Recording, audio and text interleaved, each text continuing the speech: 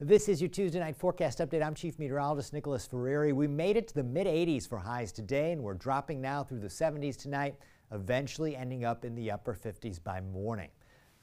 At 7 in the morning, there we are at around 58 in Fort Wayne. A lot of morning sunshine. We're close to 80 already by noon. Temperatures climb back in the mid 80s by the time we get to late afternoon. Our high temperature in Fort Wayne 86. Clouds will be increasing from morning into night. More clouds showing up into early Thursday morning. Temperatures in the low 60s at that point.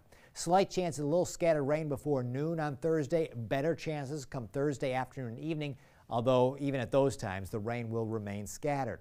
Additional periods of rain Friday and Saturday, also on a scattered basis, only a slight chance of a sprinkle or two still around on Sunday in a few spots. Temperatures have their share of ups and downs in the upcoming days. 86 is our Wednesday high, Thursday 79, Friday 85, Saturday upper 70s, Sunday 80. Next week, dry through the week, temperatures not changing much. 81 Monday, Tuesday 80, Wednesday 83, Thursday 82, and Friday 81.